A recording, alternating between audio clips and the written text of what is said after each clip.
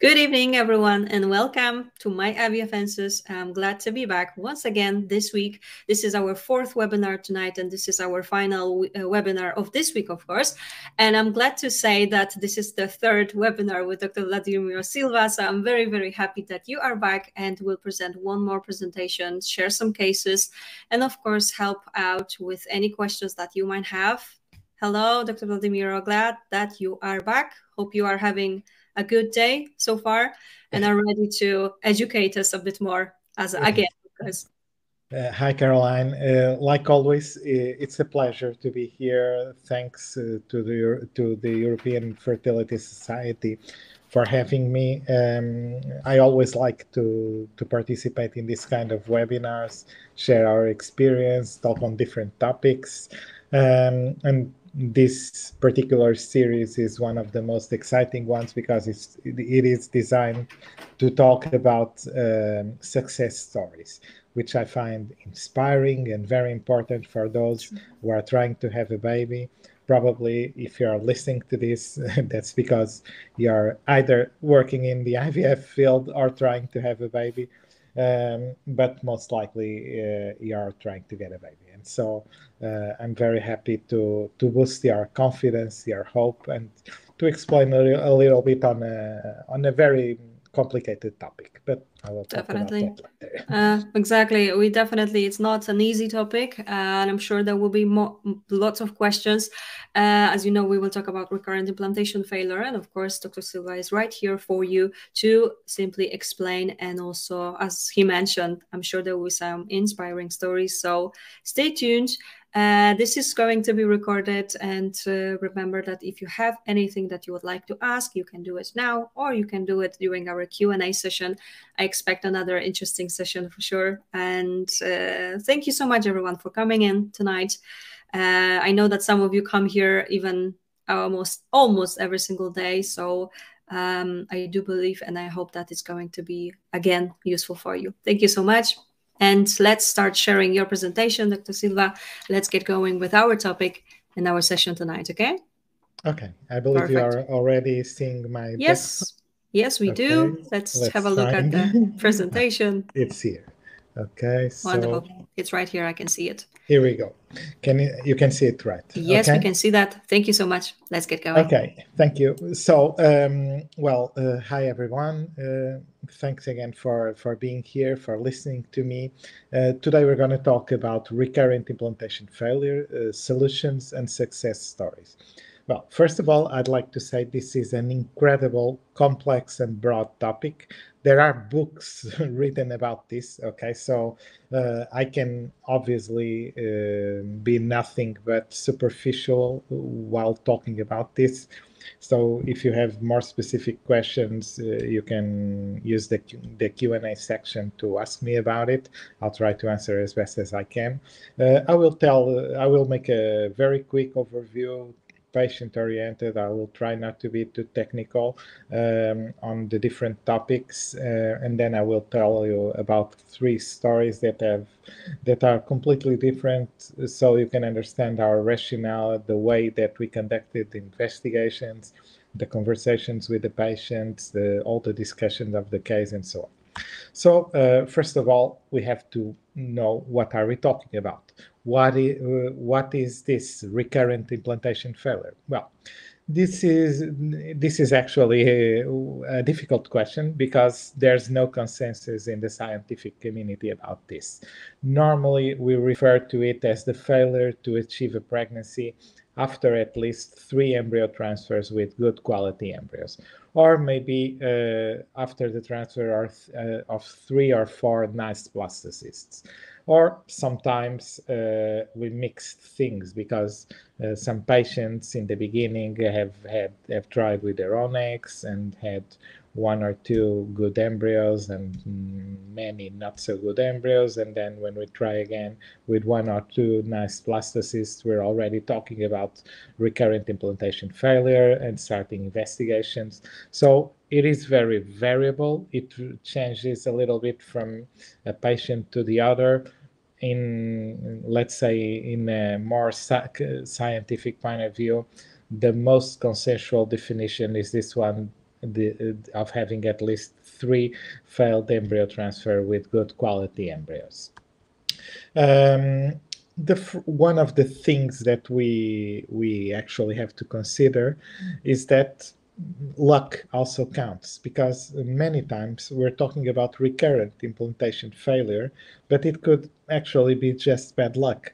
For example, uh, this is a, and we know how uh, how statistics work and and how deceiving can be statistics and how can can we play numbers to make uh, to draw whatever conclu conclusions we might we might want. For example, let's assume that a certain treatment has a 60% pregnancy rate. So we know that if we transfer one embryo to 100 patients, we will get 60 of them pregnant and 40 that will not be pregnant. If we do, if we transfer a second embryo to those remaining, uh, remaining 40 patients, we will have 24 patients that become pregnant and 16 that will not be pregnant. And if we transfer a third embryo to those 16, we will end up with nine patients that are not pregnant, uh, nine patients that are pregnant, and seven patients that, that are not pregnant. This means that we have a 93% accumulated pregnancy rate. But obviously, it was always 60%. So sometimes when we are talking about recurrent pregnancy rate, we are just having bad luck within this 60% pregnancy rate range. 60% is is brilliant for every uh, IVF clinic, for every every uh, IVF treatment, but it still represents that 40% of the patients are are not getting pregnant for random factors or factors that are difficult to control. We know that if we flip a coin five or ten uh, or six times in a row, it might fall on the same side, size, maybe five consecutive times. But we all know that if we flip that same coin 1,000 times, we will end up more or less with 500 times tails and 500 times heads. So uh, this means that when we are talking about IVF, we're talking about low numbers. Even if we transfer 10 embryos, which is uh, a lot of embryos, it's still a low number when we're talking about probabilities like 60, even 70%. There is, uh, so luck plays a very important role. And this is just to remember you that sometimes we're treating patients as recurrent implantation failure cases because they fill in the criteria but we are we are actually just um, just giving up on on pressure because obviously patients want to get pregnant patients want to have a baby as soon as possible when they come to the clinics they have already tried for a long time at home. Maybe they have started the treatment process elsewhere and for many years. And so anxiety plays an important role. The economic factor the emotional factor the the pressure of time. And so there is a lot of pressure on patients and sometimes this is actually just bad luck okay but still let's take it to the scientific level. So what causes recurrent implantation failure? So the truth is that we usually don't know. Uh, and when i say we i'm talking in the name of uh, I, the ivf science. Uh, there are uh, because we there are so many factors involved that it's sometimes very hard to pinpoint just a single explanation. It could be a mix of factors. Uh, there are many obviously many mixed situations but essentially we can divide the problem in two groups of potential causes. The problems with the embryo that typically are associated with chromosomal abnormalities and problems in the uterus. This could be related to endometrial issues like the window of implantation, uterine receptivity, anatomic, anatomical anomalies, immune factors, thrombophilia, etc. We will talk about all of that during this presentation. So uh, how do we we start our investigations when we are uh, trying to find a cause for a recurrent implantation failure? Well, normally we start with the embryo. It's important to be as sure as possible about the embryo quality.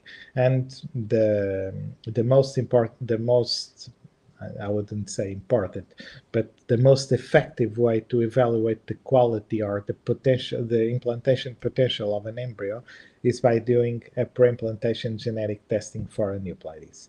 Yes, uh, two days ago I've talked about this, so I will not lose much time bothering you with the details of it, but uh, I will just explain how it works. So we, we create embryos in the lab, we fertilize the eggs with the sperm, uh, we culture the embryos until day five or day six to the blastocyst stage. At that moment, we, we make a hole in the embryo with a laser system and we withdraw a group of normally about five cells from the embryo. Those cells are then analyzed uh, in a genetics lab, and we look and we and we look inside of them to see how many chromosomes do we have inside those cells, and then we can see whether those cells have the right number of chromosomes or an extra chromosome or a, uh, a chromosome missing okay? If an if a if an embryo is has the correct number of chromosomes it is called a euploid embryo euploid embryo. If a, if an embryo has the wrong number of chromosomes we call it aneuploid embryo and aneuploid embryo okay? So what's the difference? The difference is that if you transfer a normal a chromosomally normal embryo with the right number of chromosomes the probability of getting a pregnancy is very high. You can see this. This is a graphic from iGenomix. iGenomix is one of the most important genetics test providers in the world, and they have published this graphic on their website. Uh, and you can see that the implantation rates uh, in the gray bars correspond to patients uh, who have done PGTA, pre-implantation tests for aneuploidies. This means that if you transfer an embryo that has been tested and is considered to be normal, the pregnancy rate will stay more or less the same across all of age groups. However, in the orange bars, you can see the results of pregnancy that you have when you are not testing the embryos. Uh, and you will see that there is a steep decline with age. Obviously, pre-implantation genetic tests doesn't make the embryos better. It doesn't increase the chances of an embryo to implant. However, it helps us to identify what is the best embryo, if the embryo has a good implantation potential or not, um, and it help us, it helps us to select the best embryos to transfer. So it reduces the time for a pregnancy. It keeps us from losing time in low prognosis embryo transfer. Uh, it saves money to the patients ultimately. Um, and so, um, but at the same time, if the embryos are not good, it will not transform them into good embryos. Okay, so this is an indication this is very useful to find an explanation for recurrent implantation failure cases.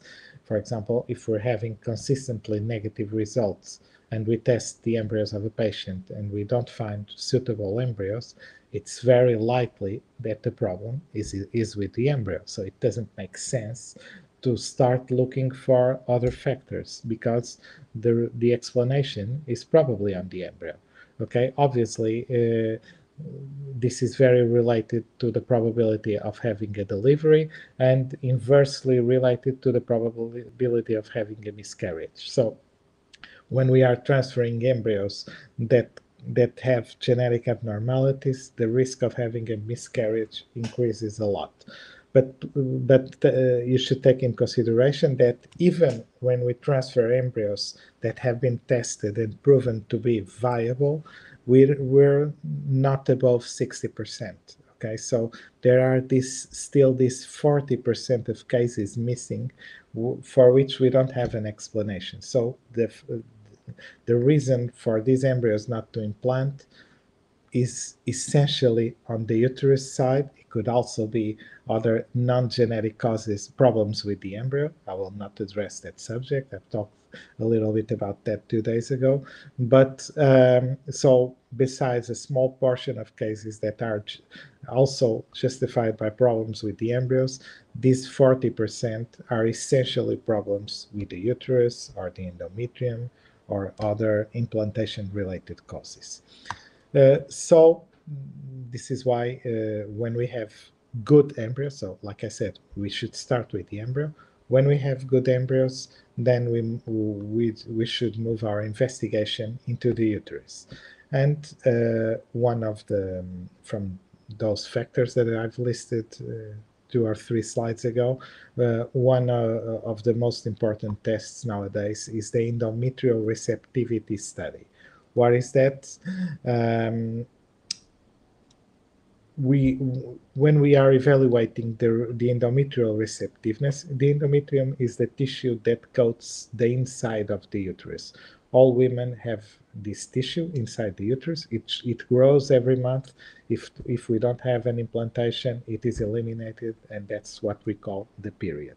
Okay, and, and so this tissue, the endometrium, is renewed every month. Uh, and so, and it has to have proper characteristics to to to allow for the implantation of a, of the of an embryo. And then and so when we have when we are evaluating when we are assessing the receptiveness of the endometrium we have to think about three important factors. The window of implantation which so because the endometrium is not always ready to receive an embryo. There is a, a special a moment in time, a special an interval in time, a, a time range, a time range where the endometrium is ready to receive and implant an embryo. Uh, then we have to assess the microbiome because all women have bacteria inside their uterus. It just has to be the right bacteria, okay? Because if we don't have the right bacteria, the uterus is then invaded by pathogenic bacteria or is at risk to be invaded by pathogenic bacteria. And that could develop could lead to the develop to the development of a chronic endometritis. So these are two important factors that should be addressed as well while studying for the window of implantation.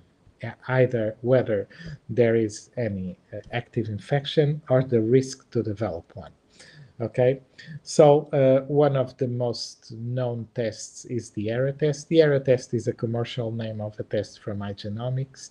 DERA, uh, ERA is the acronym from Endometrial Receptivity Array. There are other tests in the market, the ERA-MAP, the ERA peak, and so on, and the WIN test in France. So there are lots of very similar tests in the market at Ferticentro, we usually work uh, with the ERA tests. Um, and so this is, uh, it's about this test that I will talk to you about. So a little bit, this is also an image from iGenomix. This is just to explain how it works. In a normal uh, cycle, the cycle begins on day one.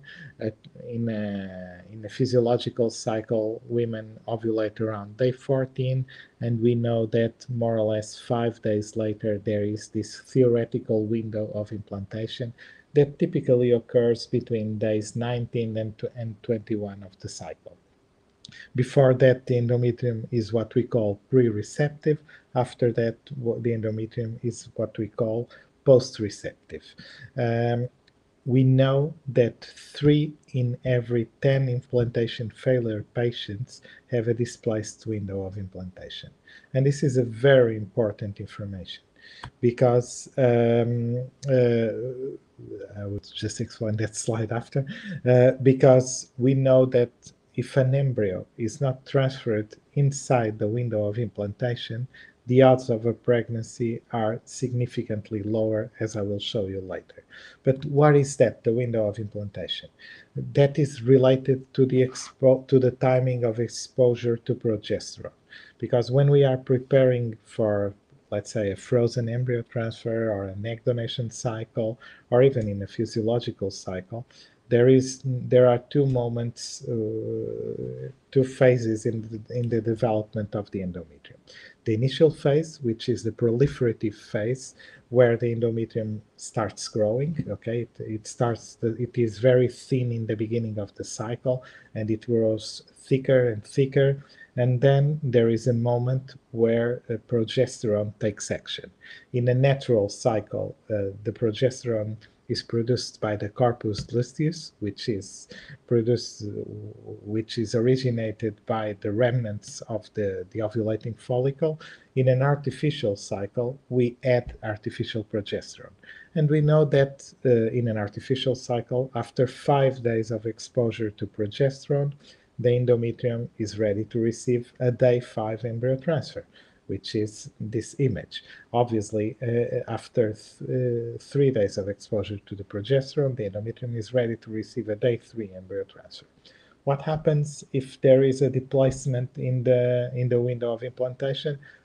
In some women, for example, we need an extra day for the endometrium to be ready to receive a day five embryo transfer. And sometimes we need to do that embryo transfer at 144 hours or at 168 that has happened to us in the past. Uh, so this is uh, this movement in the window of implantation is something that we have to control uh, with the with the ERA test. And and so what is this? We do an endometrial preparation like we do we would do uh, in an artificial cycle or even in a natural cycle. And then on the day of the embryo transfer, instead of transferring an embryo, we do um, we do a small biopsy, uh, uh, and and so we take a little piece of tissue. With that piece of tissue, we um, we analyze it in, in, the in the genetics lab, um, and then uh, we Igenomix uses an array of 248 genes to detect uh, for the endometrial receptivity, and so uh, they will say uh, they will tell us whether the uh, that profile corresponds to uh, viable endometrium or not. Uh, and obviously, that leads to a personalized window of implantation. We should transfer the embryos according to the instructions that we receive from Igenomix. This is the conclusion of um, many, many many studies that they have done. So uh, when we are doing the um, the ERA test, the, the reports that we receive are typically like this. This is actually a real example. For example, in this case, the endometrium was considered to be pre-receptive, and the recommendation was the personalized embryo transfer of a blastocyst should be performed with 143 hours of progesterone administration. Okay, so one day later than the time at which this endometrial biopsy was performed. So this is a typical example of a patient who had a pre-receptive endometrium. In some cases, the endometrium could be post-receptive or obviously receptive if, it, if they fall within the 120 hours. Um, the live birth rates with or without the personalized embryo transfer are completely different. For example, in this study from Igenomix, they were showing that uh, a personalized embryo transfer uh, was um, uh, 14 percentual points above uh, a frozen embryo transfer done uh, after 120 days, but without testing the endometrium, and the, accumula- the cumulative rate was even higher. The difference with the cumulative rate was even higher. So uh, it is uh, a very important way of optimizing the, the uterine conditions. Uh, like I said, they have found, Igenomix has found in their studies, that this affects three in every 10 cases. Uh, normally, we refer to this test only the patients who have had three previous failed implantation, three, uh, three previous failed um, uh, embryo transfers that's the initial criteria of the definition of recurrent implantation failure. Like I said, we're not too strict on this. In some cases, if we're transferring brilliant embryos or embryos that are proven to be euploid and we're not carrying a pregnancy, we immediately do this. Sometimes, for example, uh, two days ago, I was talking to a patient. Uh, we on, she's uh, 40 or 41 years old right now. We only had one viable embryo after preimplantation genetic testing treatment. And what I told her was this, this embryo is very precious. And so we should test your, we advise you to test your endometrium before transferring it for two reasons. First of all, because we don't know if we will ever ever get another viable embryo from her eggs again because of her age. Uh, and also and so it would it's a, a huge responsibility. And obviously uh, it is very important to give as many chances as possible to this maybe last embryo that her ovaries are producing so this is uh, a type of test and a type of technique that we use many times uh, in our um, in our clinical practice. Uh, we don't use it for every patient. We don't use it as a first line approach, but it's a very important resource. The other, the, uh, on a second level, we have the microbiome and uh, and the chronic endometritis. Um, this is again information from Igenomix. 30% of infertile women have pathogenic bacteria in their uterus. Uh, we all, like I was saying before, we need um, all women have bacteria. It is normal to have bacteria inside the uterus, but they have to be the right bacteria. Because when we have lactobacillus, like in on the right hand example, we know that uh, we have a, the optimal microbiome, and so uh, the bacteria inside the uterus are the right ones and they keep the bad ones from coming in. When we have uh, imbalances or pathogenic bacteria, the, the implantation condi conditions are not optimal. And so these two tests are connected. The EMMA test is about testing for the microbiome. The ALICE test is about testing for chronic endometritis. And we can do it everything at the same time using the same piece of tissue to test for the window of implantation, for the presence, for the microbiome, and an eventual presence of chronic endometritis. And so with one, with just one procedure, we can test for everything at the same time. And obviously, we can correct this. For example, this is an example case where a patient uh, has had no endometritis, but she still had a low percentage of lactobacillus. So we had to give her probiotics and um, and um, we had to give her probiotics. If there was some pathogenic bacteria here, we would also have to give her anti antibiotics. Um, then we have the anatomical anomalies. Um, what is that? Some women can they can be born with that, they can acquire that through life, but um, we do uh, an exam that is called an hysteroscopy. Um, to try to see if we have polyps, if we have endom uh, chronic endometritis. It's another way of taking a little piece of the endometrium. If we have myomas, also known as fibroids, if we had if we have adhesions, if we have adenomyosis that are parts of the uterus where there is no endometrium, any kind of malformations, like for example septum and so on.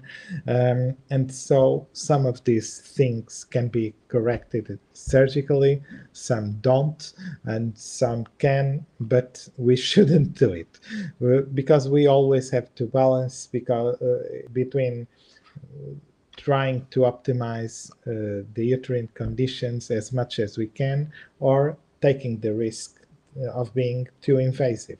For example, in this study, uh, there is they prove they have proven that there is no doubt that generally speaking congenital uterine abnormalities can lower the reproductive outcome okay regardless of the type of congenital abnormality uterine abnormalities.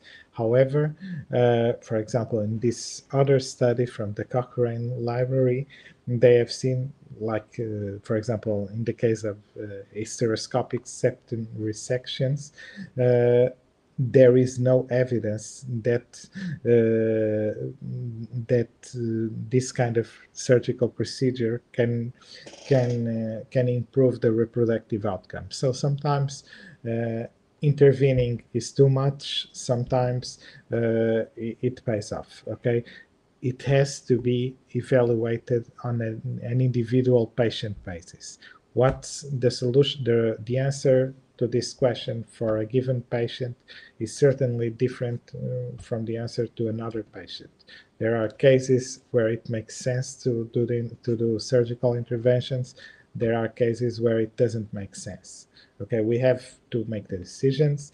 Our gynecologists have to assess it properly. Sometimes they do MRIs, they do ultrasound scans, they do hysteroscopies, they do laparoscopies, depending on what they're looking for and then based on the observations that they get they will make the decision on whether it makes sense or not to do a surgical intervention and try to correct the problem so um, on a third level uh, uh of uh, I would say importance and likelihood, then we have the immune and hematological tests that uh, about which we hear a lot of uh, information in the internet and patients ask us a lot about the, these tests.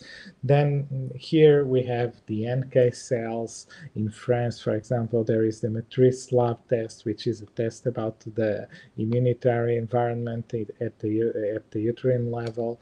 We have the KIR HLA tests that um, that many patients do. Uh, we have packages of tests designed to screen for autoimmune diseases or autoimmune factors or parameters.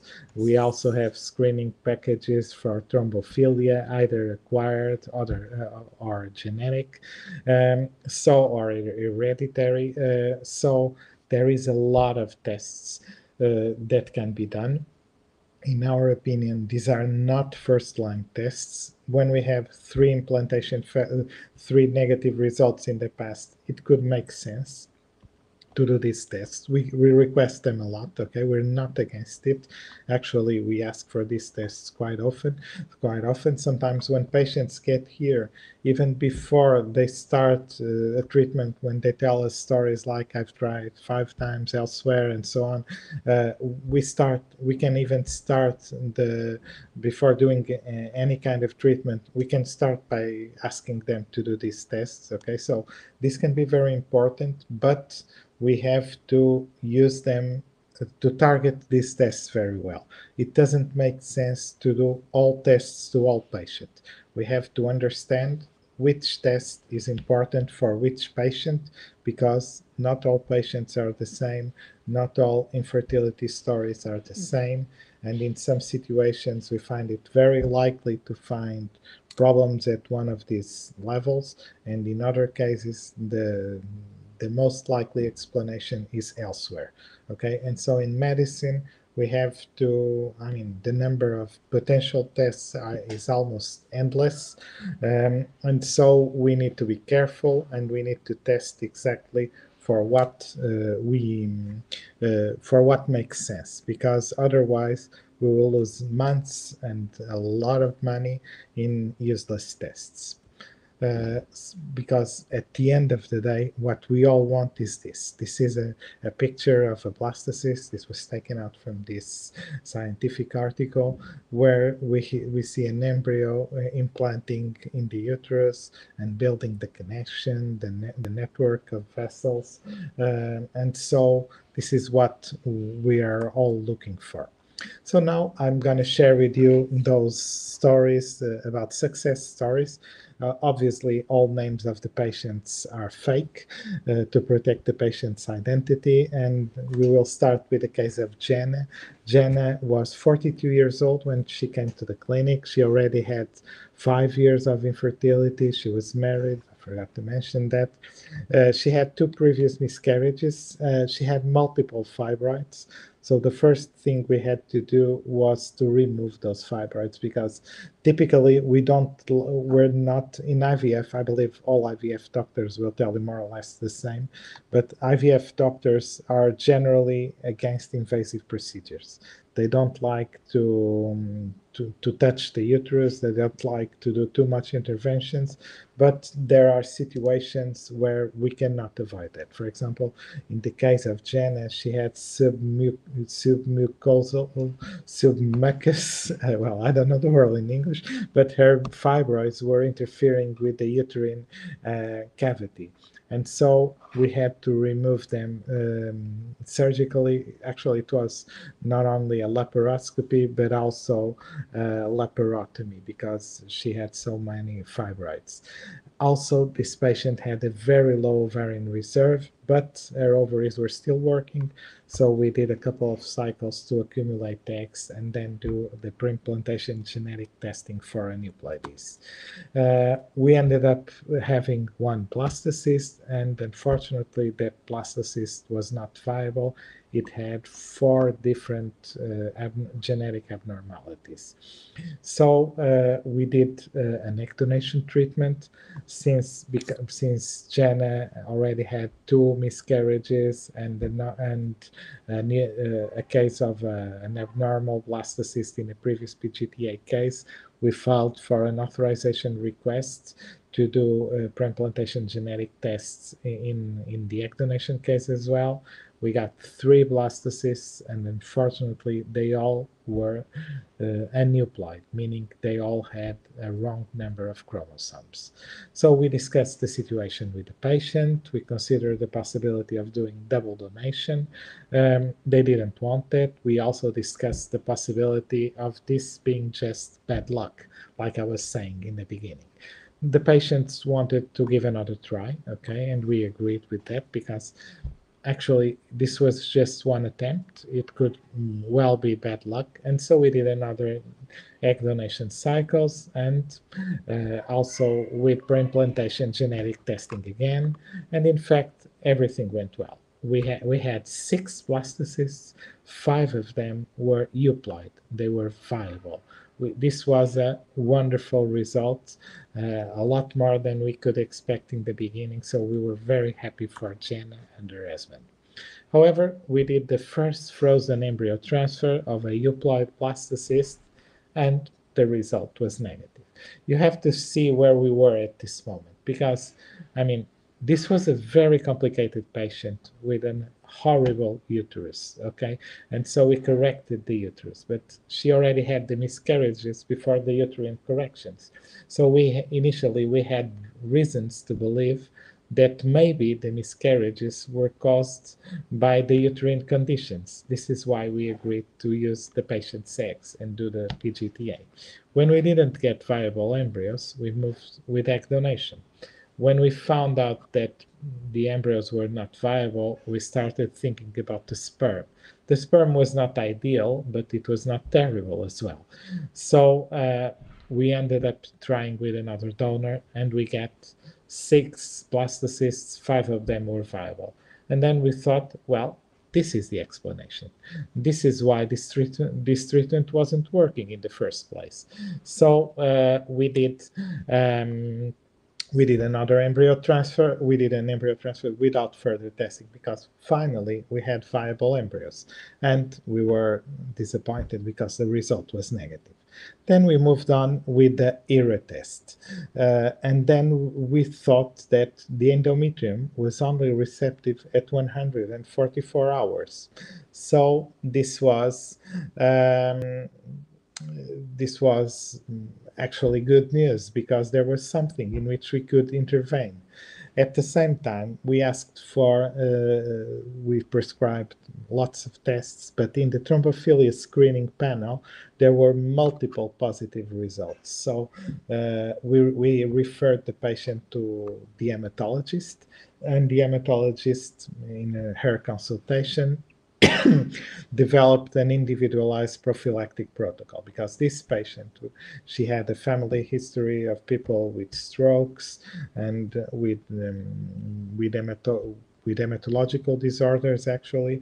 And so the hematologist developed her own protocol. And then we moved on. We did the next frozen embryo transfer respecting the indications from the ERA test and using the prophylactic protocol from the hematologist, and we immediately got an healthy pregnancy with the birth of a baby boy. And Jenna and her husband still have um, uh, three or four, I think it's three, uh, exactly three uh, great embryos that allow them to have another baby. Then we have the case of Pauline. Pauline is a young a younger patient, 30 years old. She came to the clinic uh, uh, after having two previous miscarriages and also because she had polycystic ovarian syndrome. So she she could spend two or three months without having her menstruation. And on top of that, there was also a, a male factor. Um, the patient uh, the patients didn't want to do pre-implantation genetic testing because they were against it for ethical reasons. And so uh, we started the ovarian stimulation because um, Pauline had a, P- a PCOS. We had to, we couldn't do the embryo transfer immediately, so we ended up freezing six very nice blastocysts and we frozen them all and then we prepared Pauline's womb to do the embryo transfer. We transferred the first blastocyst, we got an ongoing pregnancy, and then she miscarried at around eight weeks or nine weeks or so. So this was her third miscarriage. When we get to the third miscarriage, there is uh, an indication for further tests. We, we discussed this with Pauline and her husband. They didn't want to do further tests, and so we moved on with frozen embryo transfer number two. And we've transferred them another blastocyst, and the result was negative. So we talked with the patients again. There were some lifestyle corrections. They, uh, in terms of nutrition, they were not living a very healthy life. Uh, and then we decided to and the patients rejected further tests, so we decided to give them a prophylactic protocol with um, with probiotics and antibiotic uh, because there was already three miscarriages, so we couldn't exclude completely the risk of any underlying infection in there. Uh, we used the high dosage progesterone protocol because we were not sure whether the problem was mm, the progesterone levels after the embryo transfer were borderline, and so we decided to increase the dosage of progesterone, and then we immediately got an ongoing pregnancy, and an healthy boy is already born, and we still have some embryos for them, so it's also a very interesting success story. Then we have the case of Natalie. Natalie was 44 years old when she came to the clinic. She had a very low ovarian reserve, and she and so we advised her to go through egg donation. We obtained four blastocysts, which is a normal and very good result. We did the first sing elective single embryo transfer, and the result was negative. Then we thought this was just bad luck, probably, and we've transferred her another fantastic blastocyst, and the result was negative again.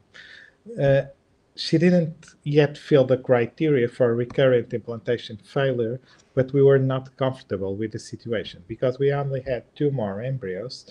And actually, the first two were probably the best two embryos. The, the embryos were wonderful.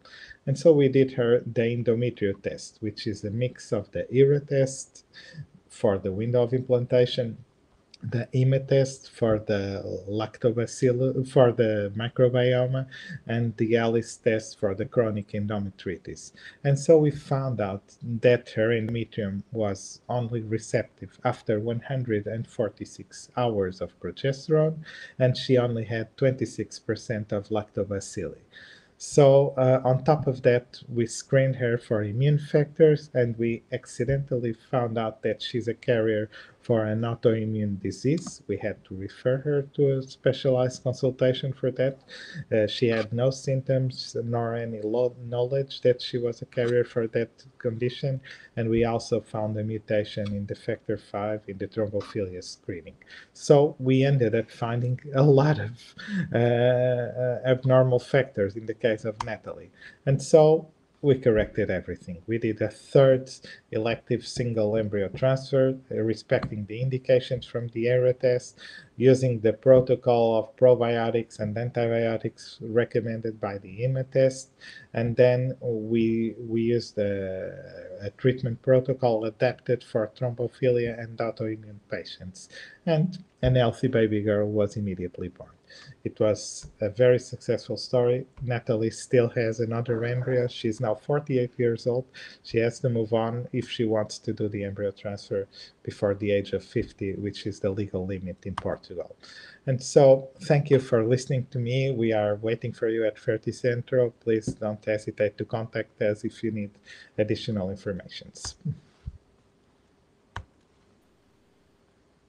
And again, thank you so much. Uh, amazing stories as well. And thank you so much also for explaining all those uh, details and how recurrent implantation failure can be um, coped with as well. Uh, thank you so much. As always, it's a thank you, Caroline. Uh, presentation. So thanks. And let's have a look. As you can see, lots of questions are right here. So let's get going. I think it's always the favorite part of all the patients. So let's go.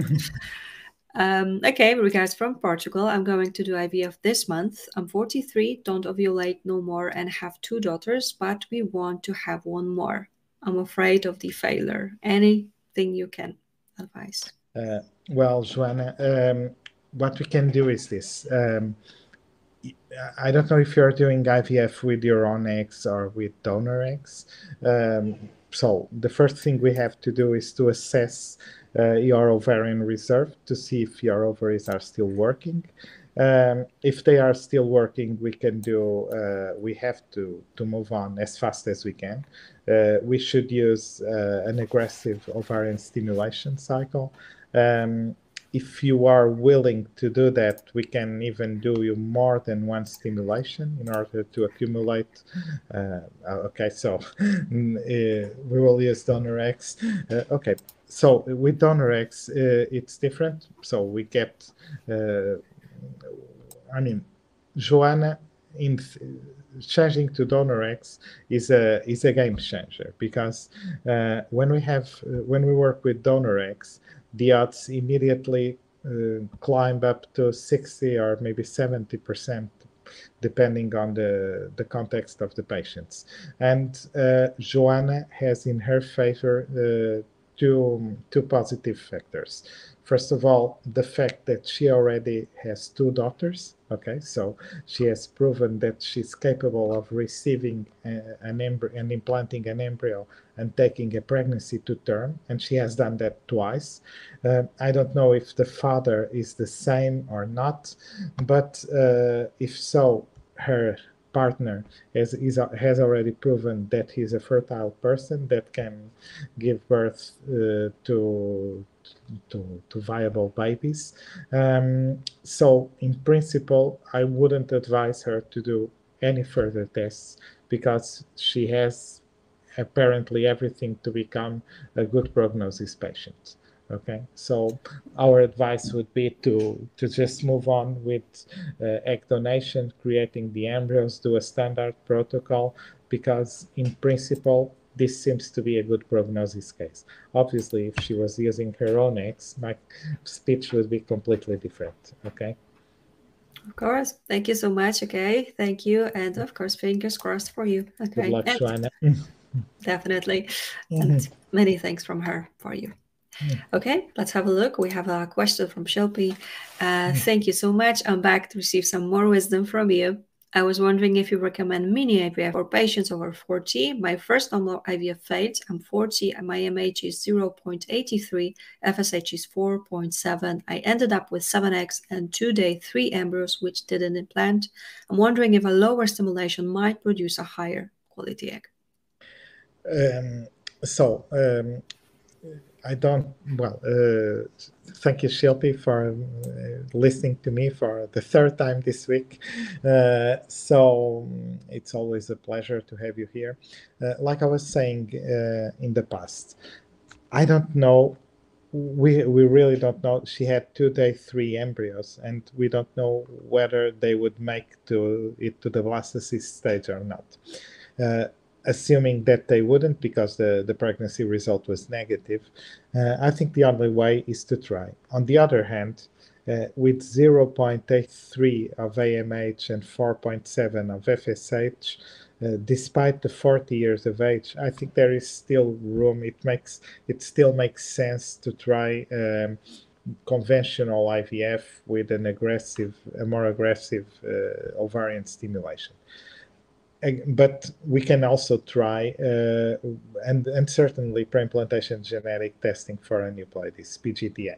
Uh, so if she, if she can't do this or she doesn't want to do PGTA or if it's too expensive, uh, we can also try the mini IVF. Mini IVF was a technique that was mm, very um, everybody was talking about it like 10 years ago or so because theoretically speaking uh, we could obtain just one or two eggs of better quality instead of seven for example like Shilpi mentions here with the lower quality.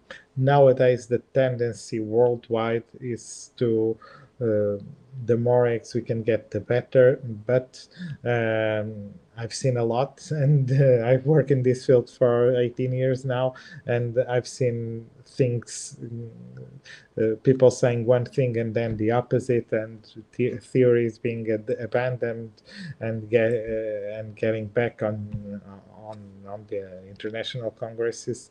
And so, what I would say is this: um, I don't think this is a stupid idea. Okay, it's a respectable strategy and a respectable idea in at our clinic at FertiCentro, we usually don't do it. We prefer to try uh, a more aggressive stimulation in these circumstances because our experience uh, works better. In our experience, these work better.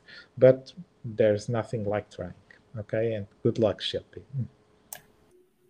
Definitely. Okay. Thank you so much for yet another question from you, and thanks for the help.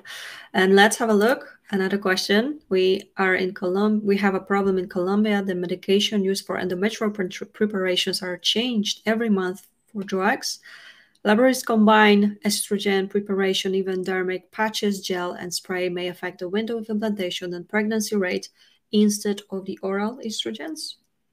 Um, well, the the window of implantation is more about the progesterone. It's not so much about the the estrogens, but obviously we we prefer to the, the principle behind the ERA test and other tests like that is that under the same type of protocol, the women's endometrium will behave the same way and they before they they started making doing this test they they were all uh, a lot they were they tested it in thousands of patients i don't know exactly how many and they have confirmed that the cycles were reproducible and so um, in principle um, we, the women's uterus will respond the same way to the same type of strategies our advice is to try to do things always the same way. So if you start with transdermic patches, you should stay with transdermic patches. If you start with uh, tablets, you should stay with tablets and so on. It is never good to change the, the way of administration of the estrogens from a cycle to the other, but still uh, the estrogens are not the critical factor. What I would definitely change is the way of implantation of the progesterone. If you're using injectable progesterone, you should always keep injectable progesterone. If you're using it in gel, you, you should keep it in gel. If you're using it uh, in tablets like we do in Portugal, uh, you, you should stay in tablets.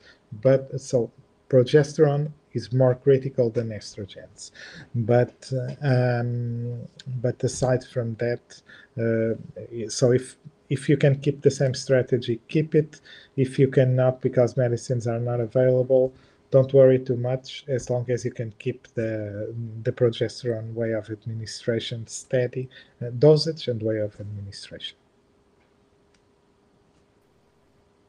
Thank you so much, and uh, thank you for coming in here. Yeah, Colombia is definitely far away, so mm-hmm. I hope that that was helpful. So thanks a lot, indeed. And good luck, Jorge. Mm-hmm.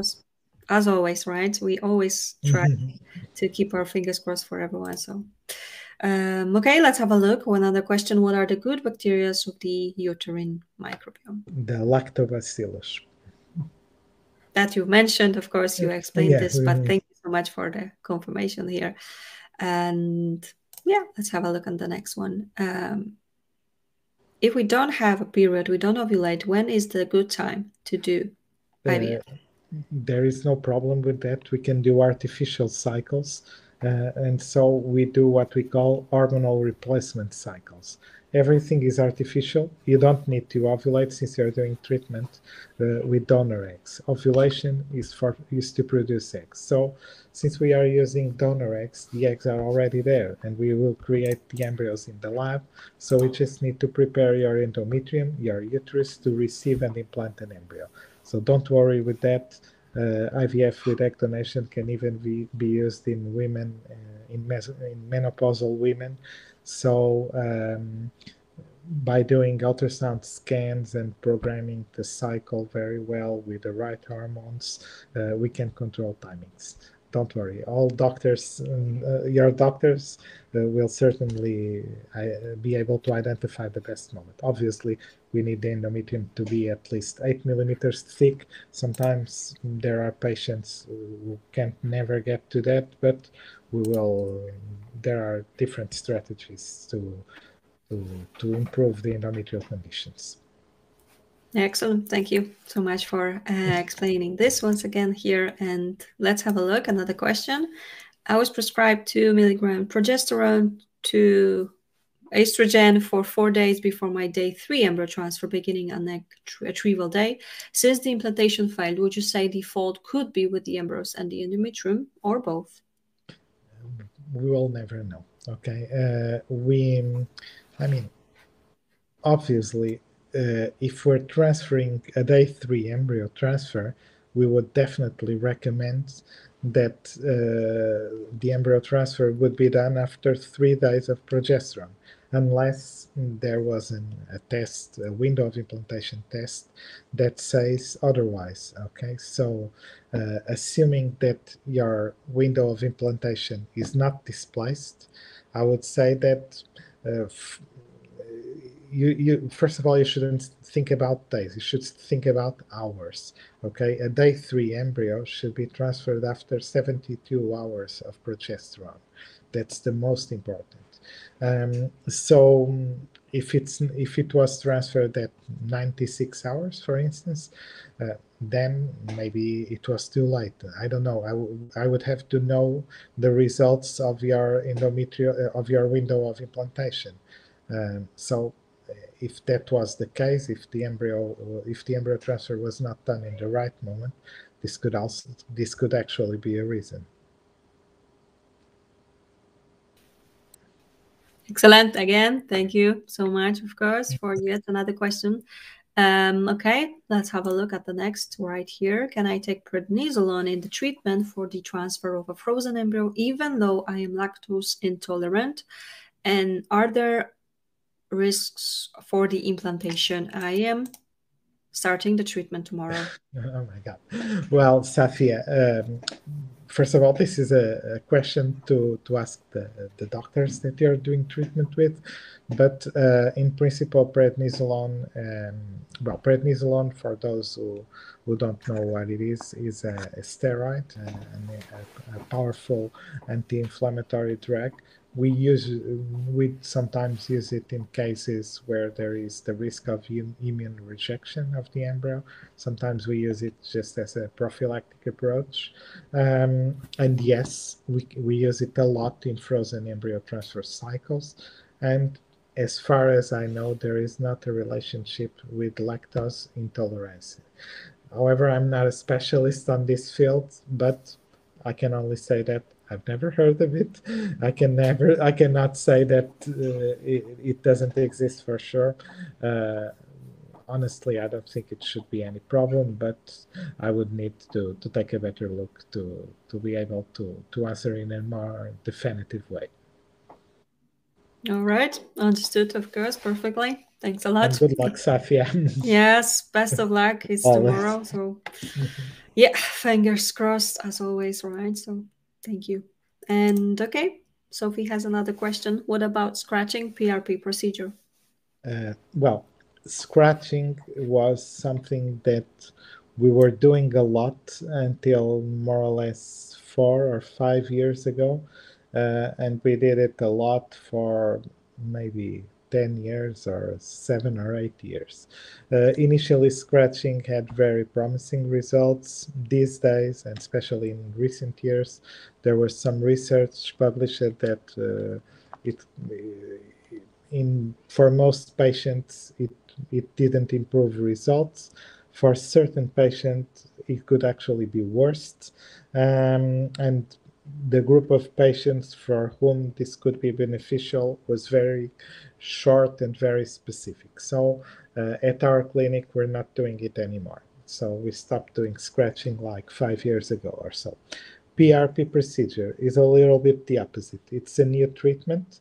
Um, PRP stands for platelet enriched plasma. Uh, okay, so um, it is important. Well, theoretically speaking, obviously, uh, PRP can be used either inside the uterus for women with very thin endometrium or injected directly in the ovaries in women with low ovarian reserve. Uh, I don't have any experience with this personally, nor our clinic. Uh, we've had patients who, have done this in other clinics in collaboration with us, and um, the results were not so great. But still, there is a lot of uh, recent publications mentioning uh, very good results with PRP. So I would say that PRP could be the future. Okay, um, this is I don't the result the the studies that are published are all very recent and have low numbers of patients but the results seem really promising so i would say that prp could could be could be part of the future of IVF. I don't think scratching will be done for much longer. Uh, it tends to be abandoned. Okay, thank you so much for the explanation. I just want to mention that if you are interested in the topic PRP, we had some uh, webinars, and uh, I know that there were some clinical studies mm -hmm. in Cyprus, Ukraine. You can check it out and yeah. see mm -hmm. if it's something that if it's something that you can uh, that you are interested in. Sorry. and of course, this thanks from Sophie. Good luck, Sophie. exactly. Thank you. And let's have a look, okay? Uh, Sebastian has another question here. Which probiotics do you give? How long and which mode of application? Which antibiotic treatment do you apply in case of chronic endometritis? What is your thrombophilia protocol? Oh my God, Sebastian. uh, yeah. Well, um, so starting from the beginning. Uh, normally, when we work with Igenomix, they give a list of probiotics that are available uh, in many places around the world. Uh, probiotics don't have the same name everywhere, uh, depending on the country that you are. Um, typically, we use the ones that are that are used for either for seven days or for 14 days. Uh, okay, uh, it, they are given they are used intravaginally at night. Um, and so and we don't make we don't really make a distinction between between different types of probiotics. So uh, all of them can be suitable. We we don't we cannot say that a certain probiotic is better than the other Regarding antibiotics, it will depend on the bacteria that's causing the endometritis. Uh, normally, uh, when we get the results from from from the biopsies that I've identified the presence of pathogenic bacteria, we also get the list of antibiotics that uh, that work against them. So it's not always the same. Sometimes we use amoxicillin, sometimes we use metronidazole, sometimes we use azithromycin. So there are uh, plenty of um, of antibiotics that can be used. Um, and so regarding thrombophilia protocol, it's a little bit the same because uh, we work with uh, hematologists. Uh, we we don't have a standard protocol for all patients, uh, but typically these protocols use heparin, they use aspirin, and they use steroids. Okay, the dosages and the regimes are variable according to the patient, uh, according to many factors. Also, the type of thrombophilia that is identified, because not all thrombophilia are the same, and not only and the dosage of this medication is not always the same from the beginning of the cycle to the end of the cycle. So um, this is not a very immediately and uh, and easy to answer question. Okay, but uh, there are plenty of things that pl plenty of different things that can be used.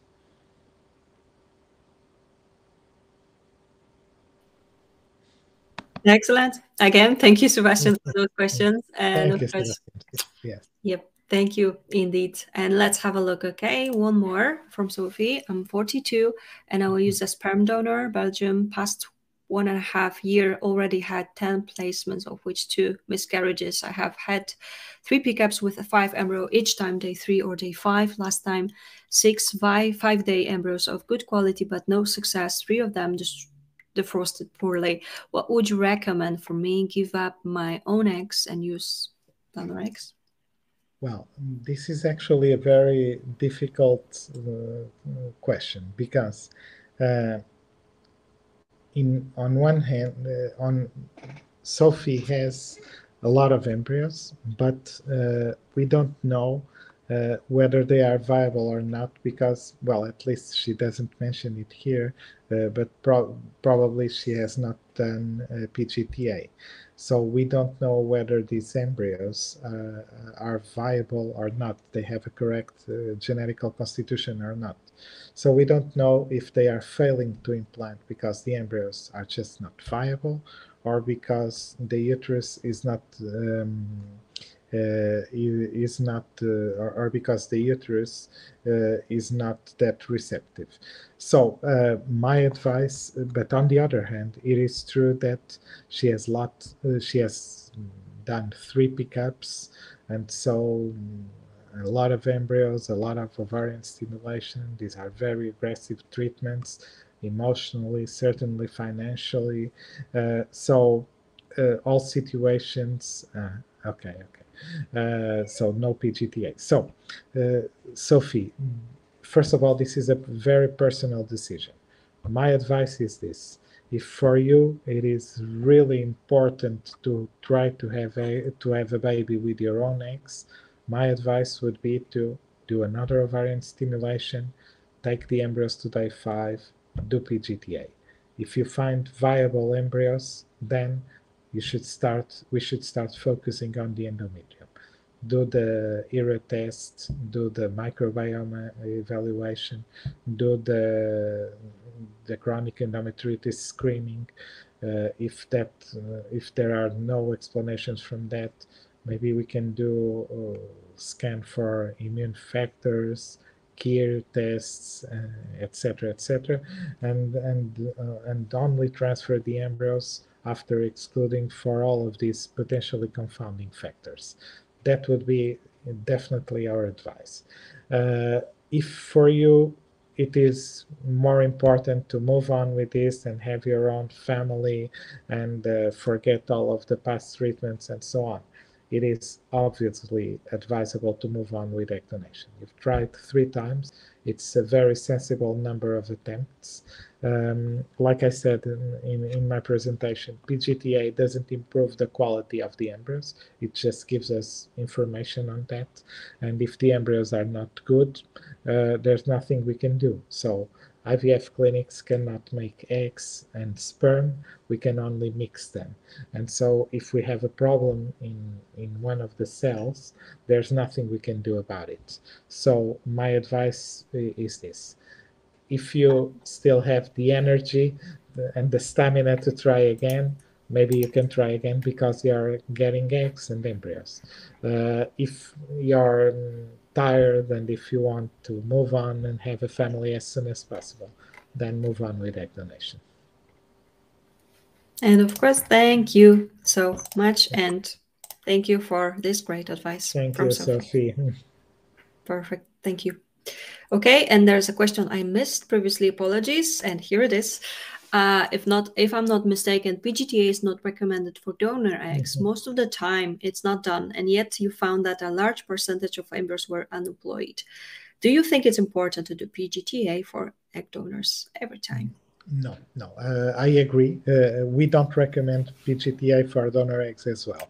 In the example that I gave, there was it was a case, a very particular situation because, first of all, it was a patient who had had two miscarriages at an age where she was still uh, maybe I didn't give that detail, but she she she had the same age of the egg donors, okay, and she miscarried twice, uh, and then uh, she did uh, we did a treatment with her own eggs, and and there none of the embryos was viable. We did PGTA and they were all abnormal, and so it was because of this very particular situation and context that we did PGTA in the egg donation case. Uh, and actually, uh, in the first uh, cycle that she has done, out of three blastocysts, none was viable. And in the second cycle, out of six, five were viable. So, um, and two days ago when I was talking about PGTA and egg donation, uh, and also today in one of the slides that I that I've showed, uh, we have seen that uh, PGTA uh, below the age of 35 doesn't make much of a difference, and all egg donors have less than 35 years old. So no, I don't recommend PGTA for egg donation.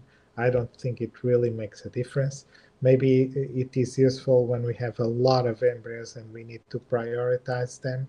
Uh, then there are regulatory issues. For example, in Portugal, in order to do PGTA with egg donation, we need a special permit. We, in the case of the first patient, we had to submit to file for that permit, and the Portuguese IVF authority authorized us, but we had to explain why we were requesting that because uh, without a proper uh, explanation, they wouldn't have allowed us. Okay, so it was a very, very specific situation. It's not something that we can generalize for all patients. So, uh, globally speaking, I would say PGTA is not recommended for donor eggs. Uh, I, I definitely agree with that. Mm-hmm. Yep, thank you. I forgot about that. Thank you yeah. so much indeed.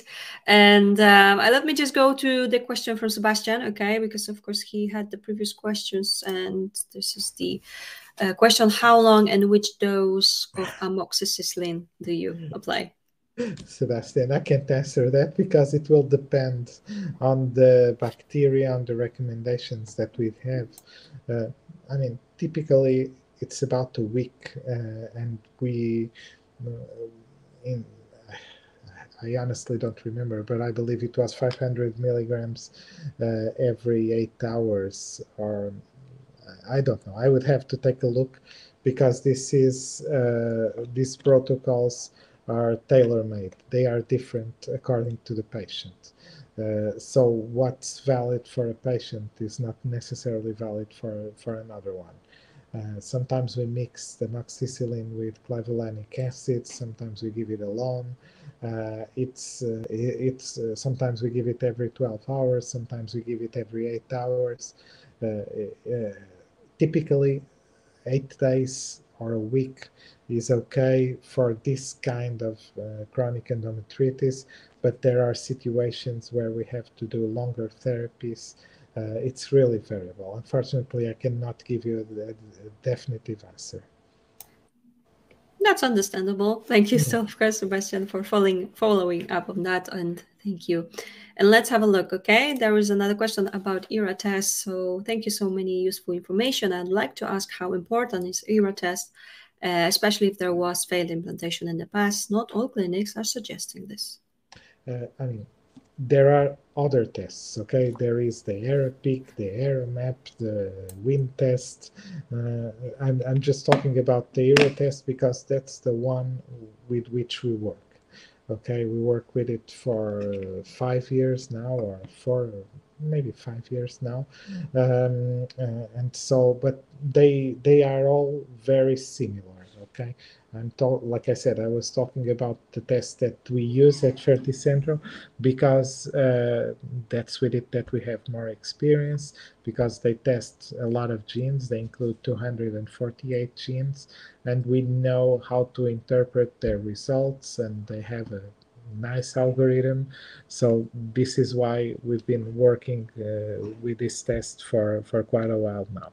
Um, so I really think it is important because this kind of problems uh, affect three in every 10 cases of recurrent implantation failure. Uh, we find a lot, but a, a, lot of women with displacements in the window of implantation. Um, there is um, a certain consensus in the scientific community about the importance of these tests. Um, and so, I mean, either if it's the ERA test or the ERA map or the ERA peak or the WIM test. And I'm certainly forgetting other names that are in the market. I'm sorry for their manuf- to their manufacturers, but um, I, I mean, this is, but whatever studies of endometrial receptiveness based on the window of implantation factors. Uh, I will certainly recommend them. Uh, and I think among all of these tests for recurrent implantation failures, this is probably the number one test to be made because it's the one that we are more likely to find. So when we are doing, uh, looking, like I said in my presentation, sometimes we don't know why treatments are not working. And so we have to start with the problems that we are more likely to find and then go to the ones that we are less likely to find. And the ERA test is the one that's more likely to, to be there. All right, thank you so much for another great explanation here. I do believe it has been helpful. And just one more follow up from the very same patient. That might be our final question. So if you have more, go ahead, type those in. And the question is Is it always done a month before transfer is scheduled? Uh, well, not exactly, because there is a logistics problem. Because, you know, when we are doing a, a ERA test, we it takes more or less 21 days to prepare the, the endometrium. We do the biopsy. We get the result in about two to three weeks. Let's make it three weeks. So when we stop the medication, the patient has her menstruation more or less a week to 10 days later. And so when she bleeds, we still don't have the result. So we lose the cycle. Uh, we have to wait for the next cycle. Obviously, if the patient is on menopause, we don't lose that cycle. Uh, sometimes we can manipulate things with the pill.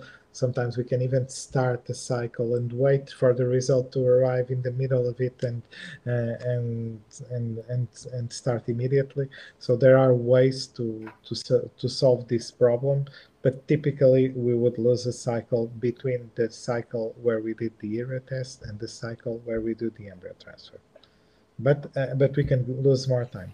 These results are typically valid for nine months. So after nine months, uh, we should repeat it because uh, these profiles can sometimes change for multiple different reasons.